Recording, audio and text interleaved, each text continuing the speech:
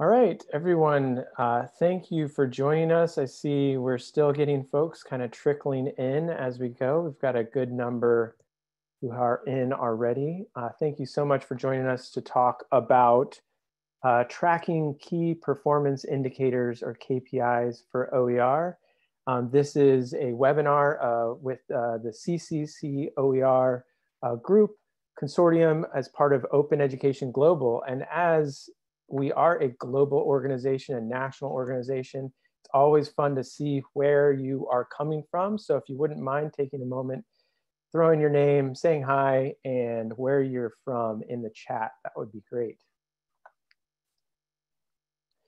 So on the agenda today, um, we are just going to do some introductions, uh, look at an overview of some things we're doing. Uh, we'll have a panel, we're gonna have a presentations from each of our panelists and then we'll have a general panel discussion.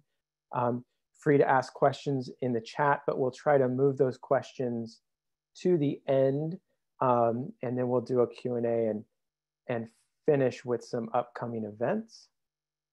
So my name is Nathan Smith. I'm an OER coordinator and faculty and residence. I teach philosophy at Houston Community College, and these are our panelists. I'm going to go ahead and uh, reserve introduction for each of them right before they speak, give a little longer uh, introduction to what they do. Um, but it's really nice. We have a very broad range of different folks who are engaged with OER at different levels. And I think um, they'll be able to give us some really concrete um, guidance on sort of what we should be looking for in terms of tracking uh, success metrics in OER and presenting those to our stakeholders. So uh, the CCC OER mission is to expand awareness and access to high quality OER, support faculty choice and development, foster regional OER leadership, and improve student equity and success. That's what we're all about. And I hope that today's webinar helps serve each of these goals.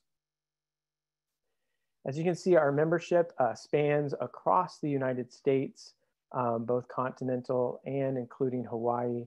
Um, and, uh, and if you are a uh, community college and would be interested in participating in this community of practice, please visit the website cccoer.org slash member and um, become a part of the organization. Uh, we do lots of different activities that connect you to other people doing excellent stuff in OER. Finally, I just want to let you know about a campaign that's going on I think is really important and speaks to some of the core values of OER. This is the Free the Textbook campaign. You may know that the publishers and bookstores are promoting a, uh, a textbook saving service that they are using a lot of the same language that we use in OER in terms of saving students money, providing first day access. Um, and, and they're saying that this, this program is really the way to go in the future. It's sometimes called inclusive access. There are proprietary names for that. What we want to say is, you know, let's not be, let's not rest with, uh, you know, textbook savings or saving students money. Let's get to free. Let's get to radically open. Let's literally make, let's really open up the textbook that's what OER does. It's really a unique thing. So uh, visit this website, freethetextbook.org, find some material there that you can distribute on your local campus. Maybe you're seeing these programs come in and, um, and I think it's important to know what they really are, to read the fine print and then um, to, to, to sort of uh, to understand what students are getting into. Okay, so we're going to kick off the discussion with Judith Sebesta. She is the executive director of the Digital Higher Education Consortium of Texas, or Digitex, and they are a consortium that provides support to community colleges in, textbook, in Texas. Um, importantly, for our purposes, she co-authored a 2019 survey of uh, the use of OER in the state of Texas and what people around Texas are doing. Judith. Thank you, Nathan. I really appreciate that introduction. And I'd like to thank CCC OER for inviting me to share our work here at Digitex. And good afternoon, everybody. So at Digitex, we engage in a variety of initiatives. Historically, we've been focused on interinstitutional course sharing across Texas. But over the past couple of years, we have expanded our initiatives to include leading the Texas Quality Matters Consortium and also to support open educational resource adoption, adaptation, and implementation at public Texas community colleges and, of course, beyond. One of the first initiatives in which we engaged under this OER work was to partner, as you can see on the slide, with the Institute for the Study of Knowledge Management and Education, and the Texas Higher Education Coordinating Board, our state higher education agency, on a statewide survey on OER policy and practice. We conducted the survey in spring of 2019, and the report came out in the fall of 2019. And when I'm finished speaking, I'll drop a link to that report into the chat for you so you can go directly to it and see more detail. This was a survey on OER programs, policies, and practices at both two and four year public and private nonprofit institutions in Texas. And we garnered responses from 100 institutions painting a picture of really a growing commitment to OER across Texas. Really, the, the, the responses that we got were quite exciting for this baseline statewide survey, which is the first that's been done in the state of Texas related to OER policy and programs in practice. Next slide. So questions top, question topics ranged from things like policies, drivers behind OER work, faculty training and incentives, budgets, partnerships, OER course marking, barriers to adoption, and data collection and impact. And for the purposes of this webinar, I will focus briefly on the latter two. So one of the key findings that's pertinent to our subject today from this survey was that data collection on the pedagogical and financial impacts of OER in Texas is nascent yet promising. Approximately 20% of the institutions that responded to the survey said that they are collecting data on the financial or teaching and learning impacts of OER. And these were the KPI, the key program indicators that they were offered to respond to quality of teaching, student academic performance, student persistence in courses or programs, student engagement in courses or materials, availability of high quality materials, cost of course development for the institution, and cost of course materials for learners. Next slide. So I just wanted to focus on this slide primarily for today.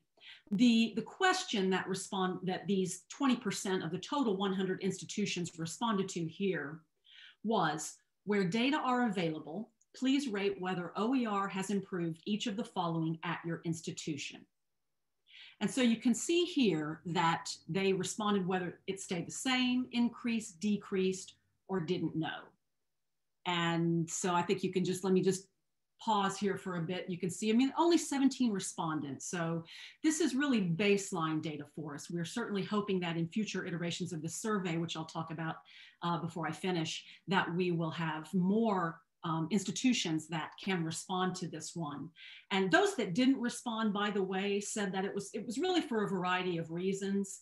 Um, that they had not yet collecting the data, data that what the information they had was primarily anecdotal. Um, their programs were in their infancy, but they did, many of them did indicate that they were hoping to collect data in the future. The smaller the institution was, the less likely it was that they had engaged in this kind of data collection. You know, obviously the good news is here from this slide that uh, quite a few, uh, the majority indicated that the student cost of course materials did decrease. So that's, uh, that's good news for us. Um, so in conclusion, I just wanted to say that the next iteration of the survey, we hope to start engage, start uh, conducting in this coming spring. We're having our kickoff meeting next week with our same partners, ISKME and the THECB. And we hope to perhaps include for-profit institutions as well, and maybe ask questions about things like the um, impact of OER course marking, equity question, questions on equity, and the use of our new state repository, OER Tex. Thank you, Nathan. I'll turn it over to Richard. Outstanding. Thanks so much, Judith. Um, so our next speaker is uh, Richard Sebastian. He's the Director of Open and Digital Learning at Achieving the Dream. Um, Achieving the Dream is a large nonprofit that supports a national network of community colleges uh, with some very important goals for student success. He, importantly, Richard has led the Achieving the Dreams OER degree initiative. Um, and uh, he's uh, currently monitor, managing a follow-up grant project to investigate uh, the innovative uses of OER in the college classroom. So thanks so much for joining us, Richard. Sure. Hi, everyone. Um, it's great to be here. Um, so if you can move to the next slide, uh, Nathan, be great. So I, you know, my um, my perspective on this is is pretty um, global, at least national, uh, in regards to um, the kind of KPIs that that's that you know uh, can be of value to uh, many different kind of institutions um, in, in the U.S. community colleges in this case. Um, and the OER degree initiative was really kind of a very large initiative. Um, just to give you some statistics of kind of the final um, uh, kind of data that came in of the really two and a half, three year initiative. Uh, it involved 38 community colleges um, across the US. Uh, close to 2,000 instructors were involved in the, the courses and course sections that were part of this initiative. And there were close to 6,700 uh, course sections created uh, of OER courses uh, involving about 160,000 students. I'm rounding up or down on, on these. Um, and so you can see it's a, pretty, pretty um, uh, sizable initiative, and it really, um, it's you know, we're funded by the Hewlett Foundation, among others, um, the Gates Foundation, uh, Ascendium, uh, and it really gave us the opportunity to look really broadly at, I guess, what I would frame as institutional kind of scaled OER implementation through this kind of OER degree model. Um, and so we produced out of this uh, two interim reports and, and one final report, and I'll share the link for those um, after I'm uh, uh, after I'm done here. Um, but let me talk a little bit about um, kind of the the scope of the project and some of the some of the data that we uh, we collected. So we, we focused on for the research uh, aspect of the research study of this uh, project three different areas. So implementation implementation of these OER degree pathway projects at these 38 colleges what worked, how did it scale, what were some of the barriers. So um, really kind of on the ground um, uh, data on what it really takes to launch the kind of a scaled institutional OER program. Um, we're also looking at academic impacts, and this is a little different um, than many of the uh, you know, the OER research has been out this because it was looking at multiple OER courses. So really looking at the progress of students uh, who take more than one, uh, up to four or even beyond uh, OER courses? And did that have any kind of impact uh, academically uh, uh, as they you know, had, were able to take advantage of, of more than one OER course? So really looked at it kind of more of a, not really longitudinal, but you know, multiple semesters of data. Um, and I think also a kind of a unique piece of this uh, of this uh, research and, and the report that emerged from it were the economic impacts, um, really kind of multiple at, um, aspects of really, you know, what does it really cost uh, to, uh, to launch an OER degree? Uh, and uh, you know what are the real costs and what are the real savings to students um, so you know, when I, I know when I was in Virginia running kind of OER programs there, um, I used a hundred dollar.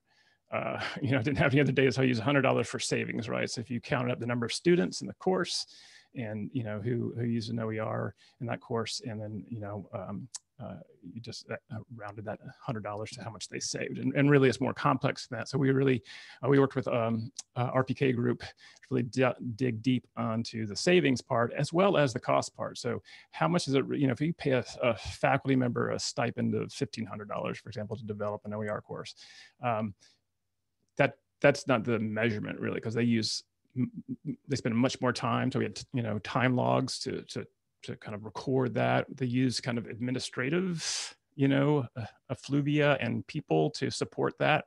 So really kind of getting down to really detailed costs for these these course emails, and they were high. The course, you know, even even for just kind of adopting uh, kind of an OER course, even in a group, um, uh, you know, it was, uh, it, you know, it was pretty steep. So we collected a lot of data. We were able to collect data from site visits, interviews, focus groups, classroom observations in order to kind of produce uh, these, these kind of uh, robust reports. Next slide.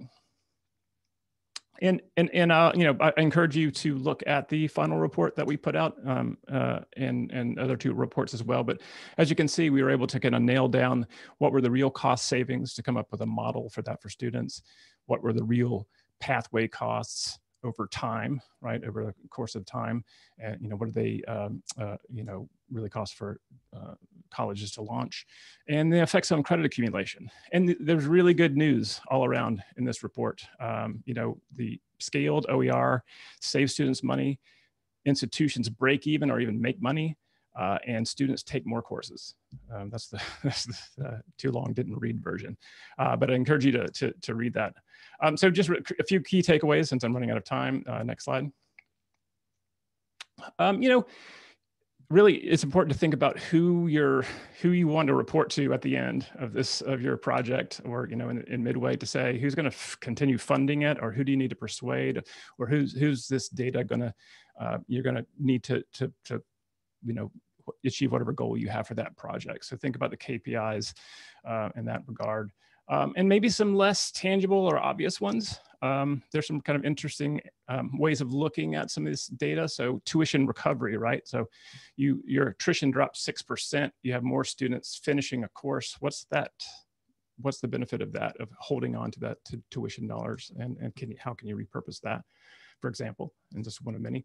Um, and you know, if you can try to kind of be consistent, if you have multiple projects or if you have a multi-year project of doing some kind of long, longer term uh, look at, um, as you know, uh, completion of courses, maybe even uh, uh of degrees, because I think that's going to be that's data that's going to be really important to know. Um, yeah, so that's that's what I got, um, and I'll go ahead and stop there. Thanks, Nathan. Thank you so much, Richard. And I'm sure people will really appreciate to see the links to those reports in the comments. Next up, we have uh, Michael Daly, who's the Director of Operations at SUNY OER Services. Um, SUNY OER Services is a big state uh, University of New York's uh, OER project. Um, so in his role, uh, Michael uh, works with campuses and faculty to, to drive adoption and um, he's also worked on collecting um, data. He's worked with some external partners in OER and RPK group and um, developed sustainability plans. Um, prior to, to joining SUNY OER Services, he spent 10 years as the instructional public services librarian at Fulton Montgomery Community College. Um, so uh, I'm gonna turn it over now to uh, Michael Daly, thanks. Thanks, Nathan, and thanks everybody at CCC OER and everybody joining us today. Certainly happy for the invitation to share and learn um, together. Next slide. So I'm going to talk back a little bit about uh, the challenges and maybe some of the opportunities that we have found in the State University of New York, New York uh, in particular working with our community colleges. A little background, uh, SUNY is a large comprehensive system. The community colleges are about uh, half, a half the number of our campuses, so there's 30 community colleges and they make up a little under half of our um, overall enrollments. Um, so they're certainly a crucial element of the State University of New York. So what you're seeing on the screen is a glimpse into the back-end course section and student section or population section reporting system known as CIRRUS in SUNY. So all campuses automatically report to this system every semester. And as OER courses sections are tagged correctly locally, that information flows into CIRRUS. So by design, theoretically, there's a good system in place. However, good data in, good data out if OER course section isn't tagged or gets mistagged, um, we have potential problems. As you can see, perhaps also there are any number of combinations of interventions uh, that might compose a student course experience. Those interventions might be federal or state economic programs. So a student could be receiving Pell Grant, tuition assistance program, which is a local state of New York um, assistance program. They could be on WIC, the federally funded women, infant, children uh, food program. They could be first generation college student. Um, and their course experience could also have certain attributes. So they could be involved in a course has a leadership component to them as in part of an honors college, um, but is also using open educational resources. And so one of the questions we often ask to unpack by administrators, both at the system level and when we work with campus provosts is which matter. And there's any number of elements, I'm only showing a screenshot, which matter and which matter more. Um, I do want to make note in CIRRUS, there's, there's some critical interventions that either aren't tracked for a very good reason, um, or tracked and not attached to a course report. So those, those might include um, elements such as mental health, our students um, making themselves aware of mental health services, um, food security. Um, every SUNY campus um, community college or otherwise, um, by state law, has a food bank or a food bank system. Students that utilize that service, you know, aren't tracked uh, appropriately. And how do those interventions impact a student's overall course experience? Um, and here I'm certainly nodding to, I think, the Hope Center's Real College movement and some, some important awareness uh, that they're giving to some of those elements.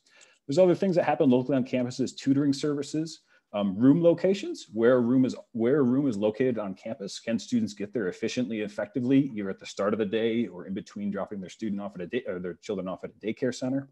Um, so all these things kind of compound or potentially make uh, really getting true impact of OER data um, somewhat challenging. Um, all that to said, I think understanding that there's a lot impacting the lives of our students and OER is certainly one positive intervention. So these challenges should not shy us away from trying to dig into or just aggregating the data.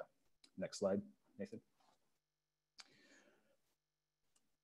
So you've heard a lot about RPK Group. Um, SUNY was part of the Achieving the Dream uh, OER degree initiative that Richard just talked about. We had five SUNY campuses participate in that. And through that, we got to know RPK Group and some of the people that work at RPK Group and re-engage their services in the fall of 18 uh, to work closely with our system offices and campuses to construct a framework or an approach to sustaining OER over the long term.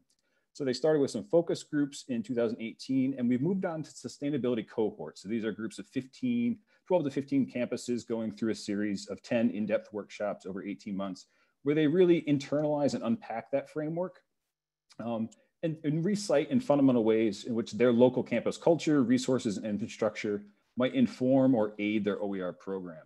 Um, so above all, I think our refrain um, when we work with campuses in, in talking about KPIs is, you know, to thine own self culture, or to thine own self program, campus, institution, you know, be true. Understand what works for you. Um, one key program indicator or success indicator at one of our community colleges may not be an important one 30 miles down the road. And, and making sure that's that's a clear and apparent is important as all of us begin to think about uh, KPIs for our own efforts. Um, in many ways, the broad and narrow elements of the framework are selected by campuses as their KPIs, and some aren't selected. Um, and these choices very often extend to other efforts underway and in the works. Next slide. Please. So I think a lesson that we've learned um, over the last three and a half and even longer, because some of our campuses have been involved with OER for going on 10 or 12 years now, is that OER doesn't have to be or shouldn't be the thing. Right? It can very often be the thing that touches a lot of other things on your campus. And so an emerging successful key performance indicator for a number of our community colleges is the number of other student success initiatives in which OER plays an integral part.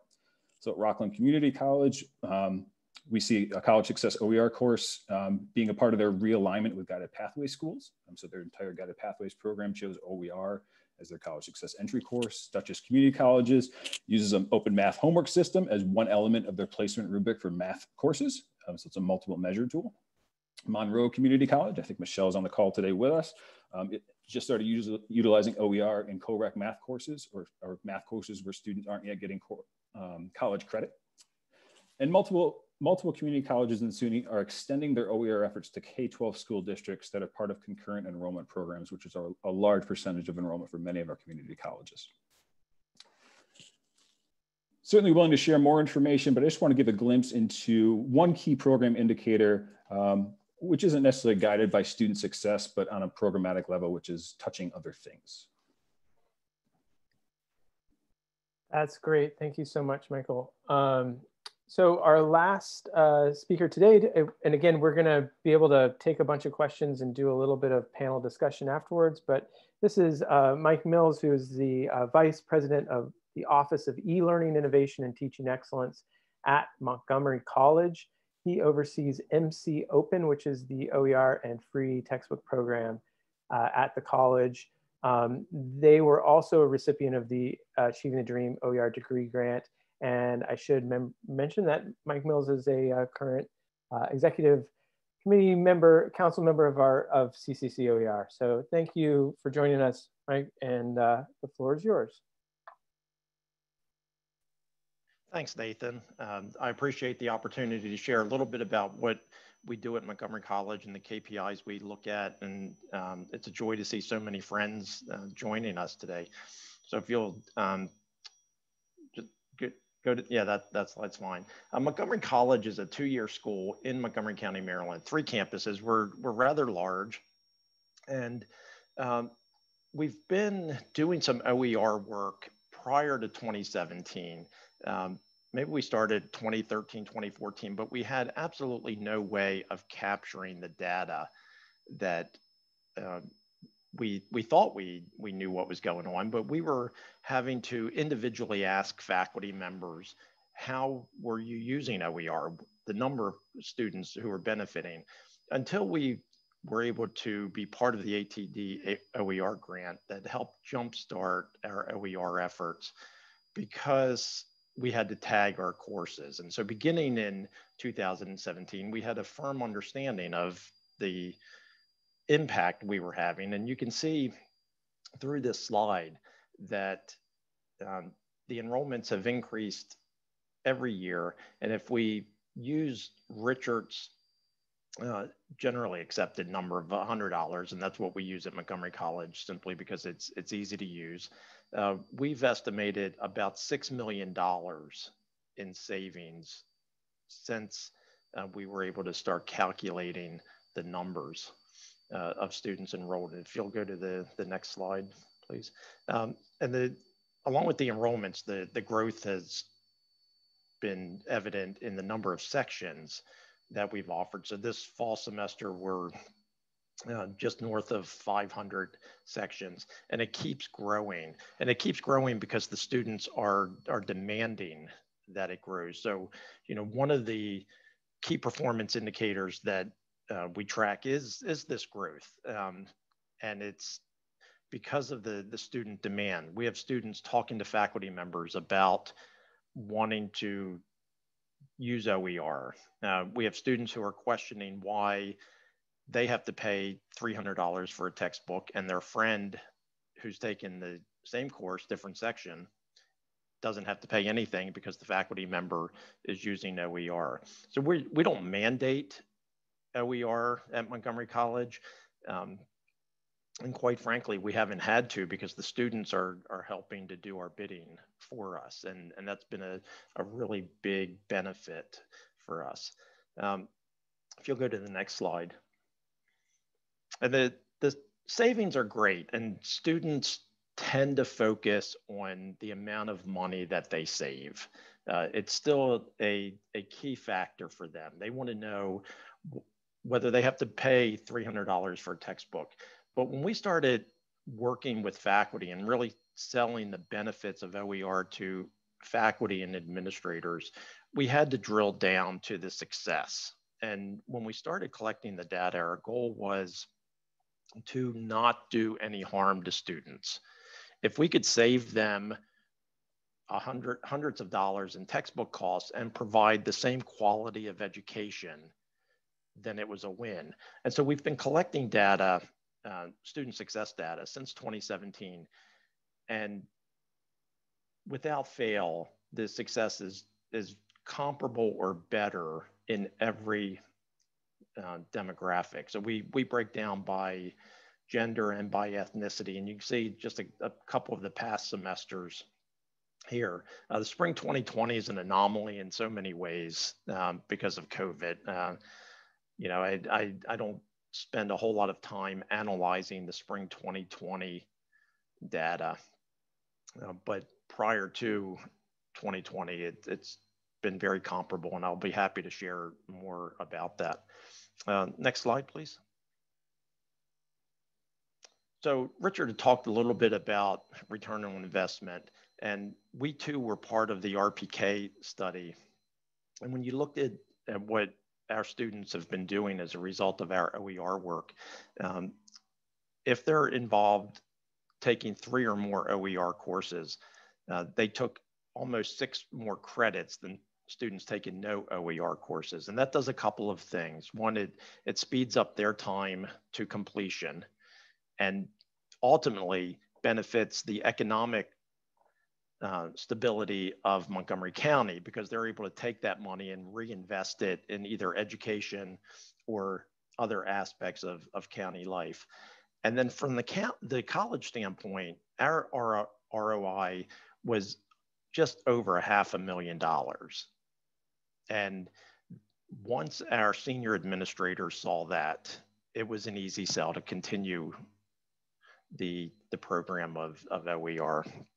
Uh, so we, you know, we have continued our, our work. I'll be happy to talk more about it. Uh, we've moved on to a lot of open pedagogy aspects of OER at this point, uh, primarily focusing on social and global justice.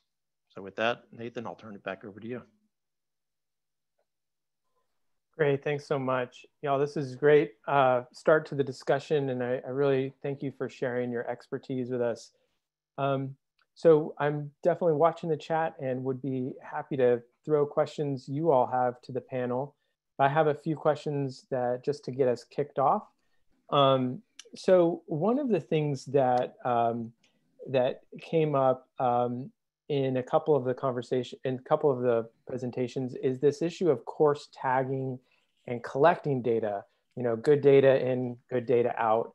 Sort of um, i wonder if you you could talk a little bit more about that. And judith i know you you raised this as a, an issue in our earlier conversation. So i'll just i'll kick this question to you if you wouldn't mind.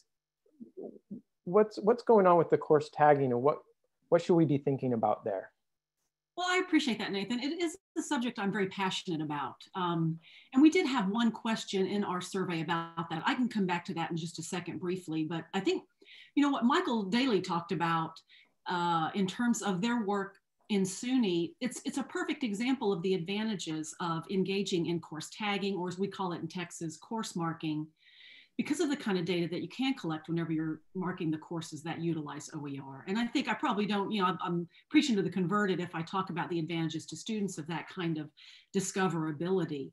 Um, but I, Texas, back in 2017, our governor, uh, Greg Abbott, did sign into law H, uh, a Senate Bill 810, which uh, requires that Texas higher education institutions share searchable information with students on OER.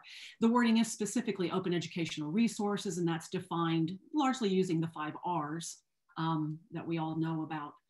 But our survey revealed that of the 100 institutions that did respond, 61% have course markers in place. Not all of those, though, are using the term OER. They're using a variety of terms from free to uh, affordable, um, and a couple of others.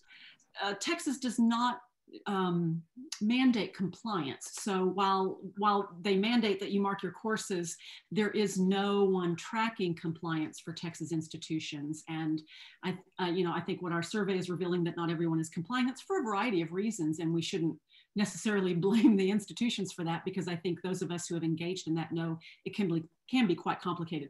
But I think what I want to say here for the purposes of this is that we I, we need to start working on collecting robust data on course marking from whether or not institutions are doing it, are complying, but also what is its efficacy, both for students, for the colleges, for faculty members? What are the challenges? What are the barriers?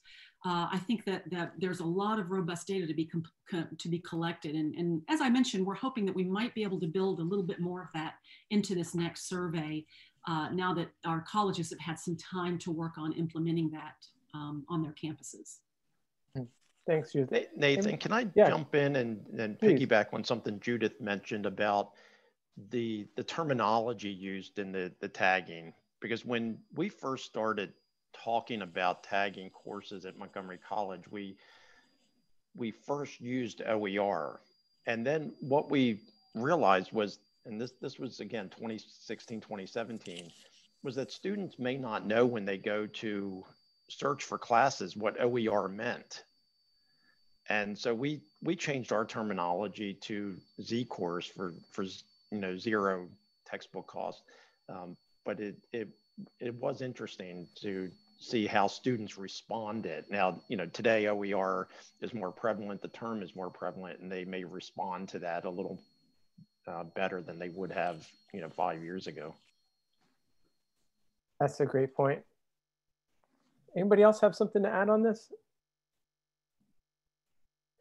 There was a question, just to stay with uh, Mike Mills for a second, uh, in the chat about how it is that you collect data on enrollment and um, for your uh, your MC Open classes. Who do you work with on campus to, to do that specifically?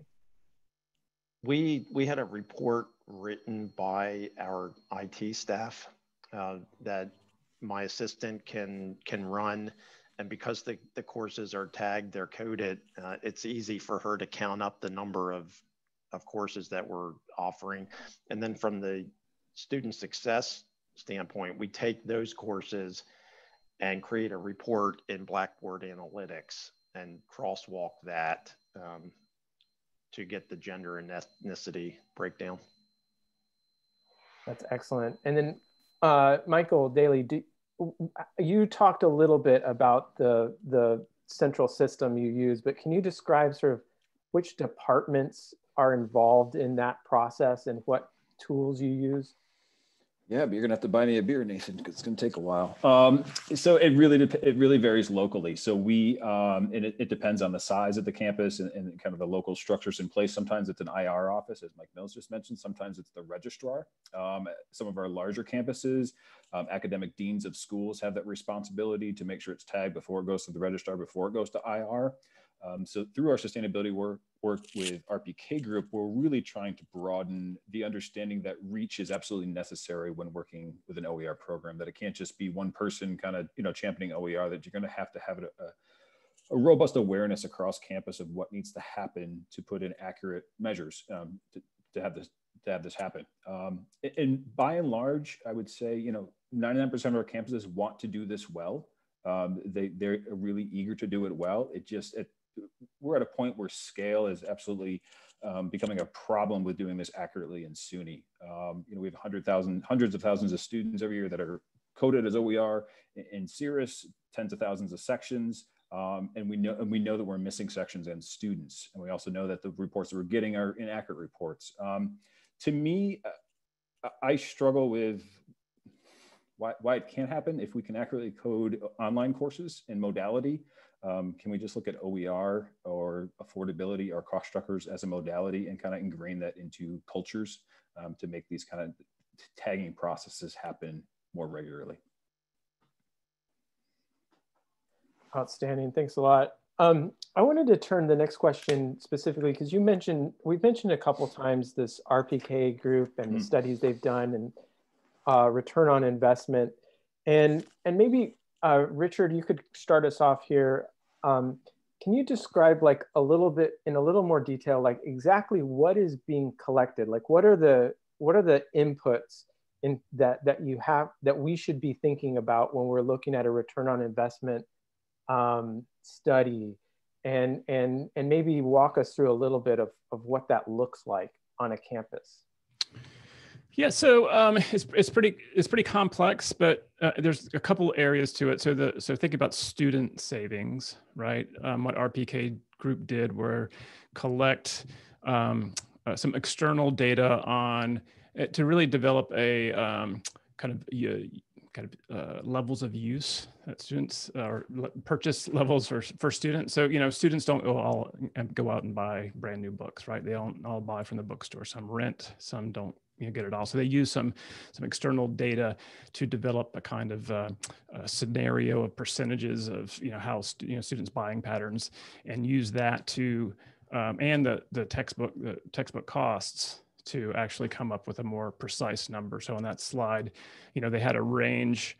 Like if you use the kind of traditional kind of calculations, I think there's savings of um, something like $112 uh, for for that. But if you look at the kind of the the actual buying patterns of students, the the state savings per textbook or per you know per student is is probably more realistically around 66 68 dollars somewhere in you know 80 dollars in that range.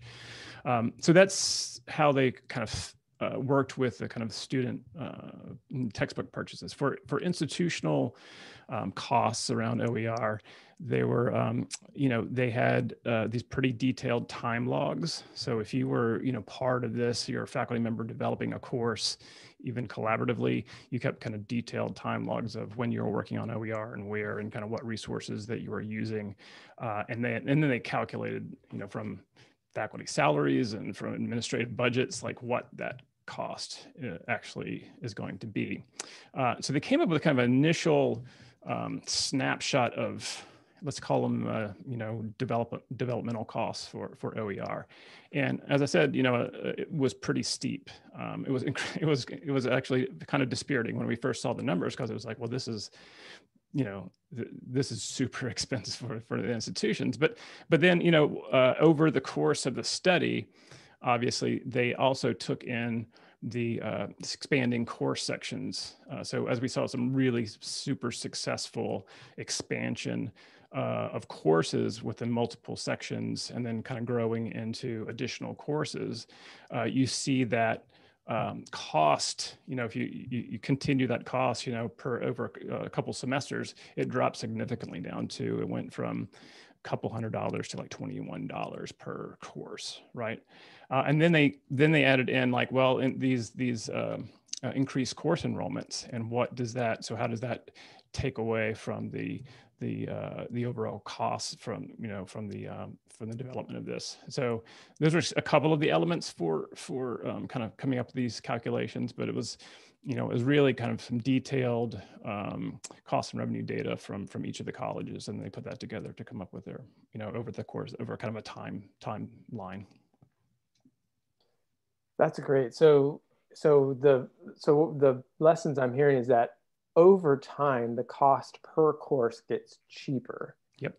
And then in addition, as more students take OER courses, enrollment increases and I suspect retention increases, or at least the, the number of courses that students taking these OER courses, the number of courses that they take in a semester actually increases, which, which is increasing revenue into the institution? Yeah, so so looking at the let's call them non-OER students and OER students, you know, traditional OER students uh, took additional credits, um, uh, different kind of uh, statistically different at different institutions, but overall, it showed a kind of increase, overall increase in uh, course credits earned, um, and so that's that's there's a there's a dollar amount to that, right? Um, at, at, a, at, a, college for um, having a student take additional credits. Um, so yeah. Outstanding. And Mike Mills, is this something you track at your institution, the um, enrollment intensity or the, the sort of number of credit hours that a student taking OER uh, takes on a semester basis? Well, we, we, I'll tell you, it's not easy to track and, and you know, RPK did a, a wonderful job of, of doing that. It, it's, it's a lot of work. Um, we're looking at that, but it's, it's not, not easy data to, to collect. And, um, you know, I think it's something that we should all probably want to take a, a closer look at. Um, I will tell you that in looking at data from a couple of years ago, and I'd shared student success data, um, two two years ago, we had the highest graduating class um, of Hispanic students that we've ever had at Montgomery College, and I don't think it's coincidence that when you look at their OER uh, success, the um, that Latin um, X population does really well with OER, and so your decrease in time to degree um, completion because students are able to pump money back into their education. Um, but it, to answer your question, Nathan, we're not collecting it as, as well and following as well as we should. That's great. Uh, yeah, I mean, I think this is the this is a challenge. I think it's a great metric, um, but it, it's hard to track. Um, uh, so somebody was asking in the chat what enrollment intensity mean, and I just through it, it refers to the, the number of credits the student takes in a semester and, what uh, RPK group found, and then another study that did that looked at um, uh, um, at uh, sorry um, Tidewater Community College found also that that enrollment intensity increases when a student takes an OER, and um, and that suggests that that maybe there's a return there one thing I wanted to turn to, maybe um, Michael Daly, I want and um, Judith, if you could touch on this. Um, I really liked Mike Mills' uh, data disaggregating by ethnicity. And you know, one of the things that we we know with OER, we we want with OER is to address the equity issues in education. And so, and I really liked the way um, uh, Michael Daly noted like all of these different ways of equity, like all these different parameters.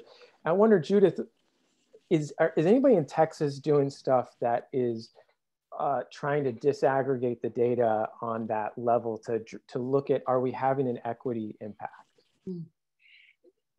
That's a good question, Nathan. I, I'm certainly there are. Off the top of my head, I really am not aware specifically.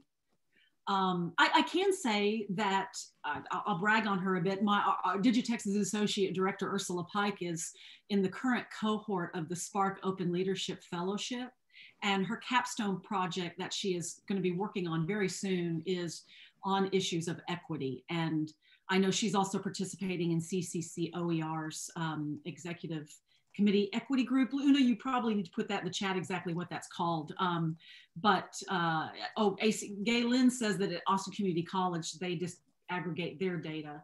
Um, we've seen some impact that supports more equitable outcomes. So I assume that that's going on across the state, but off the top of my head, I don't have examples for you, Nathan. I will say that in terms of the study that we did, the survey that we did, what we did see in, on, on a number of the questions was that there was a desire to to collect the kind of data or be able to respond to the questions we were asking. But if they were a small college, and that that probably was often a, a, small community college, they didn't have the resources to do what we were asking or um, to engage in that kind of work at their campus. So I think that's that's an equity issue in a way, I would say.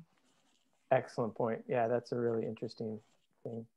Michael, did you want to, how do you disaggregate the data on some of those thornier issues you were mentioning? Yeah, we, we are actually we talk about key performance indicators. That's that's one of the charges from our our SUNY provost, so the provost that kind of oversees all the provosts in SUNY. He's very interested in uh, understanding the impact that the use of OER or affordable materials um, can have of, of, students of need and define need broadly, uh, whether that's Pell eligible, students actually receiving Pell, um, students of uh, you know various ethnicities, um, even down to gender. Um, so that's something we're, we're working hard on. It kind of goes to the can we get the best data most often? Um, you know, we, we, we lead with the assumption that yes, it's going to have a, a, positive impact on those students if we can make learning resources more available um, at, at, a lower cost. Then that, that's going to be a benefit. Um, we just haven't uh, been able to kind of disaggregate the data to a level that we're comfortable yet, um, but it's certainly within the realm of possibility. And yeah, another excellent. thing we look at too, um, and one thing I should mention, we, we don't get any faculty data in SUNY, uh, which, which confounds the problem. Um, I think it would be really interesting if we could get faculty to opt into a participatory study where we could understand the diversity of, of faculty teaching with open educational resources. Um, we know in SUNY that we lack uh, a diverse faculty that, you know, matches that of our student population. That's something we're working hard to address.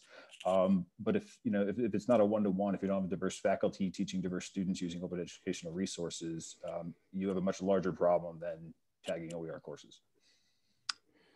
Hey, hey Nathan, I think it's important to to to see um, uh, kind of OER use, especially now we that we know more about kind of its impact on students as a, a tool for closing equity gaps, right? And and that's a you know that was something that you know, we we recommended at the beginning of the OER integration initiative, but it was just uh, it was too challenging really for for colleges at the time. But really, can you can you you know hold you know some seats or make sure that the students who really need these you know need this break on uh, textbook costs can get a seat in those courses because what we know is that if it's word of mouth there's just a couple of sections you know the you know the students um, who need it don't necessarily get get into those courses so so being more intentional about that and and really thinking about how you can actually uh, more directly um, uh, make sure that those students benefit is is is another you know I think uh, challenge for colleges to to help close those equity gaps.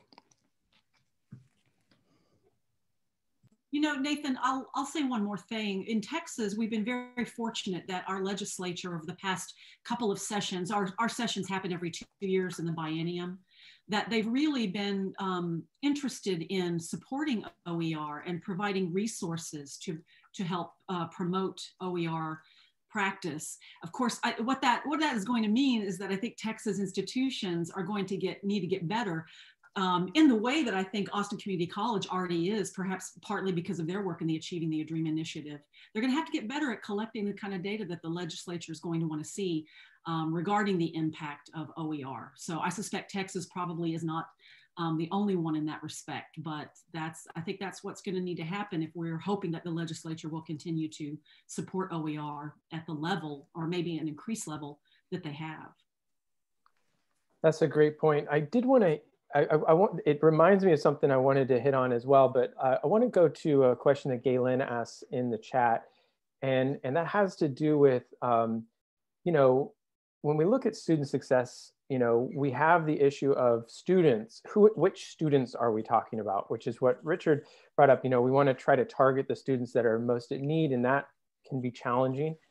But then we also have this issue of like, well, which faculty are self-selecting to participate in OER? And you know, are some of the success metrics just a, a virtue of like sort of really engaged faculty who care about students doing good teaching, you know, in the OER program? It, I, this can be really difficult. I know, um, I, um, and you can do it in a in a kind of confined study where you look at before and after um, of, of where you look at you know student student success prior to adopting OER and then student success after adopting OER in the same faculty member. You can control for faculty effects, but what can we do at an institutional level to do this? Or is, it, is this just gonna be something we have to live with? Nathan, at, at Montgomery College, um, you know, we certainly have not mandated that anybody use OER, um, but a number of disciplines have decided on their own that all faculty teaching a specific course would use OER. So we we we try to account for those differences that way, and it's it's been successful. Um, for example, we have in our economics department, uh, all of the faculty chose to use OER for Econ um, 101, and then one faculty member it, it just wasn't working for that one person, so that faculty member opted out. Uh, but you know, if you can get disciplines to adopt OER, uh, you can negate some of those concerns, I think. And also, how, how many how many contingent and or adjunct faculty are being left out of the ability to participate in this movement because it's not valued for them in terms of their you know, um, compensation in terms of their, the, their time. I mean, they would value it, but if an institution doesn't for them, that, that concerns me as well, because we very well know, particularly at community colleges, how many adjunct faculty uh, teach students. So I just, I, I, really, really am concerned about the number of faculty that might want to participate in this that can't. Great point, great point. Another equity issue for sure. Um, so we are kind of coming to the end of time. I wanted to point out, just kind of lift up a, a comment thread that was happened in the chat where Ellen, Ellen Range asked a question about those small colleges that have limited resources. And then Michael Daly re replied with, I think, really helpful, you know, just start small with the program you have and then build on the results you get there.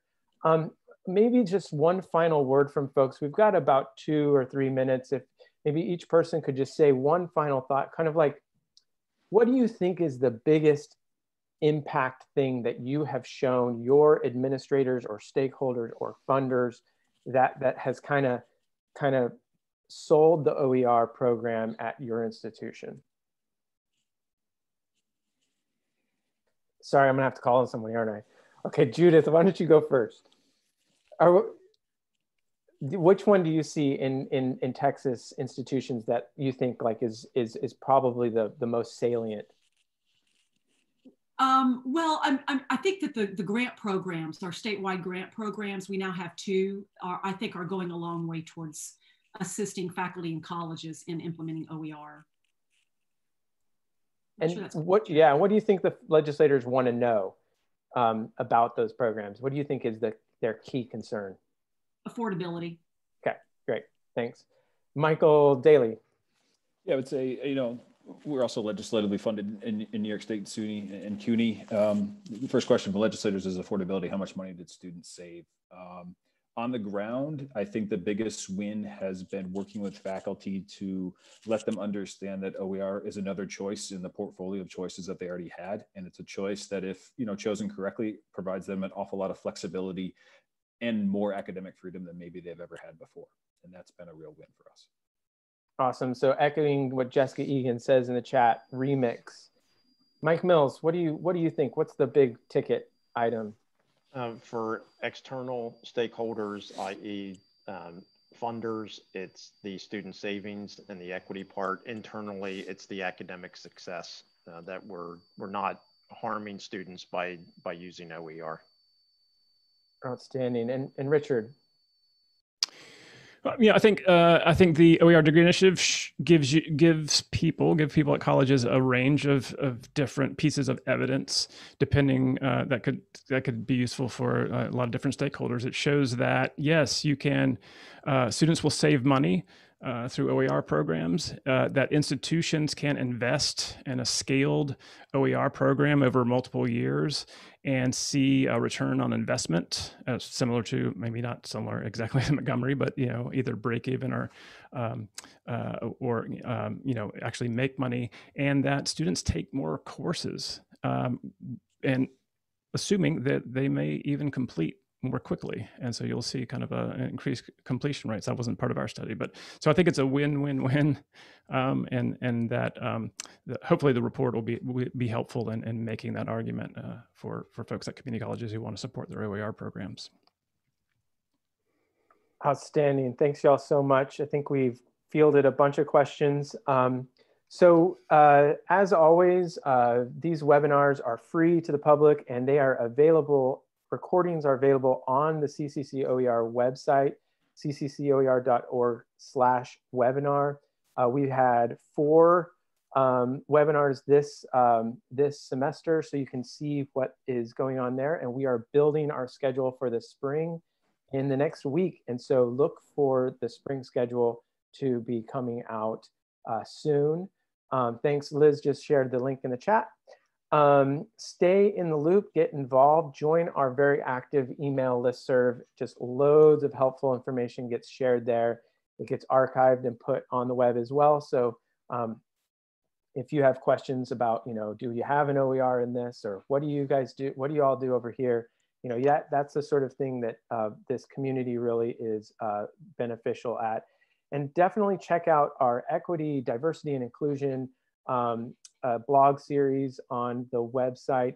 I think you know we, we, we believe equity is a, um, a, a, critical issue in education and we believe OER can address it, but I think we need to be intentional about how we, how we do that. So please check out the blog posts and student impact stories.